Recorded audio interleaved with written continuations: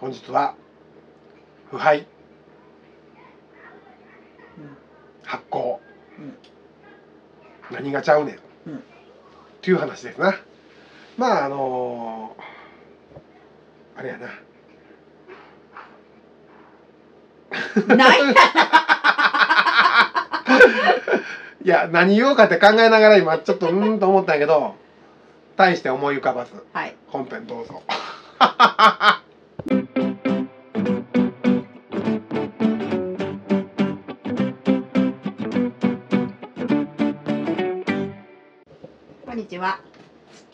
にちは。どうも。どうも岩崎。ですえー、寒いね。ね。もう雪が。ねえあの海側の方行ったら全然雪なんか跡形もないのにうん。うちは山手やからまだ雪残ってるよな、もう今日は雪をかき分けてね自転車買ってきたんですけどね。大変大変。本当に積もってたもんねまだ。積もってたよほんま。もうええ加減にしてほしいよ。まあということでねええ加減にしてほしいっていうことではい何も関係ないけどはい。本日は腐敗、腐敗と発酵の違いです。うん。わかる？ほら腐敗っていうともうあの腐ってく？うん。あの政治の腐敗とかさ言うやん、うん。うん、腐っとるわけよ、うん。でも発酵は発酵の美女とか言うやん。言う？それは違うな。それはあの幸せの薄い美女やな。発酵の美女ってな。漢字が違うってこと？違う。感じが違う、あの落ち葉があと1枚落ちると私はコテンっていっちゃうのみたいなさ。こんなんちゃうか？あ今日じゃがいも切ってます。あはい。ねじゃが種じゃがね。種じゃが。た種な種じゃがなんじゃが？は？そうなんじゃが。もういいよ。はい。えー、っと何やったっけ？じゃがいもはこれ北あかりですうん。はいでじゃがいもは全然関係ありませんじゃがいもはいいのよ。うん発酵なうん。うん。まああのー発酵と腐敗はどう違うかわかる？え。わからん。わからん？いや腐敗は朽ちていくって感じやん。うん。うん発酵は？わっしょいわっしょい。あわっしょいわっしょいか。それはここでしか通用せん。何がわっしょいやまあ要するにねどちらもうん。微生物が有機物を分解することです。うん。どっちもね。どっちもね。うん。どっちもどっちもやね。うん。進めようはい。でねじゃあ何何が違うのって腐敗とうん。発酵は。何が違うねんと。腐敗はね有害なんです。そして臭いんです。うんおおはい。でまずいんです。うん。わかる？じゃあ発酵は？美味しいの？おいいね。これ危ないねこれ。でこれでいいね。いいね。これ危ないえあとは？なんだ？はうん。有害で臭くてうん。まずいんですうんじゃあ発酵は？じゃあ無害。おお無害ね。ううん。ん、無害無害。でえ？何？フローラルな香りがするの？おおもちろんもちろん。ふっかふかよ。おおまああのた納豆の場合はな。ああそうか。納豆発酵そうだね。発酵食品やうんね。くっせえな。って言うよね外人は。うんそうだね。日本人はそれほど気にしないけ別どにそんな気にしないから。うん。でもあの昔の関西人はみんなあかんかってああそう。うちのおじいちゃんなんか絶対食えへんかったからね、へー。うちのおじいちゃんねあの酒かすな。焼いて砂糖巻いて食ってたな、すごいね。うん、すぐ酔っ払うくせにさ酒かすで甘 甘え？先弱いんかい。そう弱いね。うちのおじいちゃんあれやね。大正のモモダンボーイモダンガールモボモボとかモガの時代の人やうん。うん。でな結構あの七屋さんよ。ほあの時代のうちのおじいの家は。うはい。であれやよだから要するに消費消今でいう消費者金融の息子みたいなもんや。だからまあ金回り良かったやろうな。おだからあのチンピラみたいな人がさうちのおじんが通ったら「お坊ちゃんお帰りなさいませ」って頭下げたとかいう話聞いたよ うちのおじんの話はええねん。ええ何だっけ？発酵。あ納豆食わへんってやっとくからな。酒かすもでも発酵食品やからな。あそうか。ん。まあ、お酒もそうやから発酵やな。うん。あの麹とかそうやんか。あそうやな。うん。で、えー要するにねだからあの腐敗っていうのはさっきも言ったけど、えー有害で悪臭でまずい。うん。で、えー発酵というのはね無害というよりもうん。むむしろ有益ね。人間にとって有益、うん。うんで、えーしかもフローラルのフローラルじゃないけどいい香り。しかも、あのー美味しい。うん。だから例えば土作りで使う堆肥でも発酵させるわけやん。うん。うん発酵はやっぱり人間にあ堆肥は人間にとって有益やし、うん。で、えーまあある意味うんこの匂いしてたらあかんわけやでいい匂いになるのよあれ。ほ程よいええ感じの。でしかも美味しいのよ。うん。美味しくないな。美味しくないと思う。食べたらあかんと思うね でもあの土にとっては美味しいんかもしれんね。そうやな。うん。土の中の微生物にとってはさ。な。堆肥はだからすごくねいいのですよ。いいのよ。うん。まあね堆肥もだからよーくよくだからか完熟堆肥とか言うやん、うん。要は発酵をよくした堆肥はいい匂いなんや。さっきも言ったけど、うん。だから臭いうんこ状態のなやつはもうだからあかんのよ。うん。だあの水とか入ってヘドロみたいになってるようなさあーあれ臭いよなぐちゃぐちゃになってるやつもあるやん。うん。あんなんあかんねん。まあそういうことでな、うん。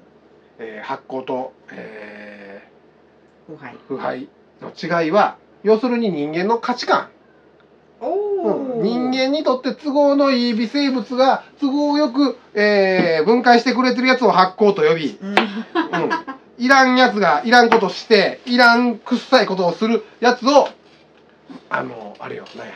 腐敗。腐敗と呼ぶのよ、うん。ここで一つ問題が起きました。はい。今何分？6分半。問題です。はい。カンペのネタがつきました。あれ？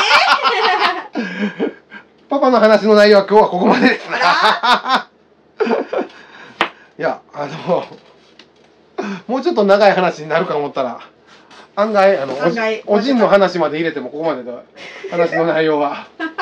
でもまああの言うてること分かったやろ、うん分かった分土作りするときにふかふかのええ土にするためにはやっぱはちゃんと発酵させなあかんのよね。うん土を？土というかそのあれをあの堆肥とか突っ込むもんを、うん。であのなんやあの米ぬかとか突っ込むとうん。その中で発酵しだすんよな土の中で。うん。だからあのちょっと窒素分食われたりうん。温度が上がったりだから葉っぱが黄色くなったり、うん。でも最終的にはええ感じにそうだね。発酵したり、うんなったり。あれな最近のさあのあれ。わあのワードとかさ文章を打つとさ「うん。何々したり」って入れたらもう一回「何々したり」って入れないとこの文章おかしいですって文法的に跳ねられるんだよ。な、ああもう一個あるはずってうん、何々したり何々したり。なたりっていう形はもう一個たりがあるやろ。絶対ある。うんなたりがなかったら足りひんねん。あ足らないっていう人もおるよな。あうん。でも足りないやよな俺の中では。そうやな。うん。よくほら足らないって関東の人とかよく言うな。うん方言の違いまあそういうことやろ。まあ名古屋の人はやたら見えますしね。店長見えます？店長見えます？お見えてるで。いやいや。話じゃ。もうちょっとでねじゃがいもが切り終わるんでそれまではお付き合いください。ああそうはい。まあ、なだからあの土作りは発酵を意識してやると突っ込んでええものか悪いものかっていうのがなうん。分かるんじゃないかなと思うのよ。だからあの生のさこういうあの生草とかさうん。入れるといかんっていうのはやっぱり発酵してないということやんか、うん。発酵してないとあの窒素分食われてうん。中でもっぺんな発酵というかあのしようとするからさ、うん。まあ難しい話やな。目には見えへんからな。そうやねん。土の中のことやからさでもあれやね土の中ほらもうここのとこほらもう路面凍結ですごいやん。うん。あの土の中でも、まあ、微生物がおるからなのかあの外気に触れてないからなのかやっぱりあれ氷点下にならへんからなのかな、ねうん。だから見てみいやあの路面凍結してるんでもさ今回新名神すごい凍結したよ、うん。あれな橋が多いねんやたら、ブリッジ。うん。うん。山の中飛んであ通っていってるやんあの新名神って、うん。だからトンネルとね橋がめっちゃ多いねん。うん。橋はめっちゃ凍結すんねん。橋の上だけ白くなってたりするやん。確かに。うん。あの要するに下からも冷えるんよ、はいはいはいはいはい。土があると上からしか冷えへんが土の中は凍らへんのよ、うん、だからこのうちの自然薯でもさそうそうそう。ずっと入れてても、今日でも雪の下で掘り上げたけど土の中全然全然大丈夫やったやろ？冷たいなってたけど全然。そうよ。ポワポワしてたよ。うん。だからなあの土の中はやっぱりそういう微生物ちゃんとか、ね。うん、まあそもそも外気に触れないからなのかもしれないけど、うん。凍結しないよね。ね。うん、でも去年里芋腐ってるね。あれはうん。あのあ頭から？そう。頭が出てたっていうのもあるし、寒な。りすぎて里芋は何度であかんのかな？まあでもあそっか、うん、温度にもよるかもしそうそうれないねそうそう。確かに。うん。自然薯はさ結構あのもう 0, 0度近くまで全然平気やろ、寒さがいけるうん、でも里芋やったら5度 ,5 度以下になったらあかんとかやったら土の中でもなるからな。あそうやな。うん。分かってくれた？うん分かった分かった分かっ危ない危ない。た 台本にないものぶこうだからなまあええわ。ということでな、はい。あのまあ要するにもっぺんおさらいすると腐敗と、えー発酵の違いは人間の都合で人間にとって有益なものを発酵と呼んで、えー腹立つもんは腐敗と呼ぶわけですよ。はい。だから政治のことを腐敗と呼ぶのは腹立つからですわ。おおそうやな。なうまいことまとまとめたな。すす っていうことですねはい。まああのー土作りでそういうのもちょっと知っておくといいかなと思って今日は発酵と腐敗をこれ目どこ行った？目がねうまいわもうええ起きとけ。言ってみました。はい。はい。面白かったです。あよかった。じゃあおまけのコーナー行きましょうか。はい。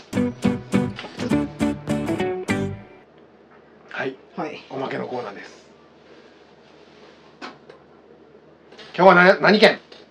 何県にしようか、うん。今ふっと思ったのは、うん。見たことないなと思って、うんあるか。何？岡山県。い岡山？岡山はお前いっぱいあるでっぱいあるか。うん。じゃあ果物じゃない。え？野菜だけ。え？果物禁止？なんじゃあ？いやく、うん、果物あったなと思って。果物はねあのぶどうもあれば、うん。桃桃もあるやん。そうそうそううん。そフルーツランドやであそこは。ううん。うん、結構いっぱいあるよ。野菜、うん。野菜はね大根。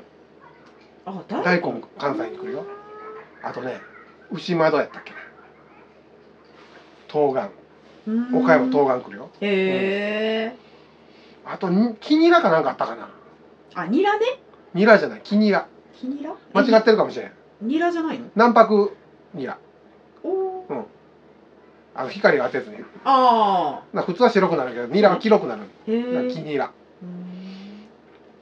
あのあれやね。ママがパパのことを時々思うことじゃないよ。気に入らん。気に入らんねん。みたいななんじゃそりゃ。ダジャダジャレで。す岡山。フフルーツを取り上げられたら。あんまり行ったことないしな岡山ってな。そうでしょうな。知らんねんな。うん。でもあのあれねサワラ？魚？うん。とか美味しそうやん。おう。うん。岡山な。岡山はやっぱり果物やな。やっぱりそうやな。水蜜桃やな。桃な。うん。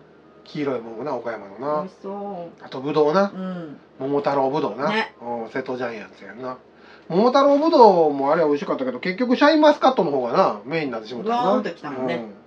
まあ岡山県はねパパはあんまり通ったことあるぐらいであ降り立ったことはあんまないな。あ 降り立ったことないだから瀬戸大橋とかも電車で通ったこともあるけどさ、うん。電車で通り過ぎただけで、うんそういうことやね。新幹線も乗ったことあるけどさその岡山って通り過ぎたばっかりでまあそういうね。ったことないのよね。今度行こっか倉敷とか行きたいよな。う。ん今度行こっかっていつや？せや な岡山な。うん。パパパは和歌山やったらしょっちゅう行ってたけどね、うんそうだね。うん。和歌山ぐらいやったらまた行こうね。和歌山すぐ行けるよ。あ山越えたら和歌山昨日な凍結で。あそうそうそう。うん通行止めになってたらしいな。あそう。うん。あのあっち？はい配送が全然あかんかった。あそうそうそうそう。そううん。何の話や？まあまあちょっとチョイスが悪いわ、そうか。うんあんまり知らんとこ言われてもな。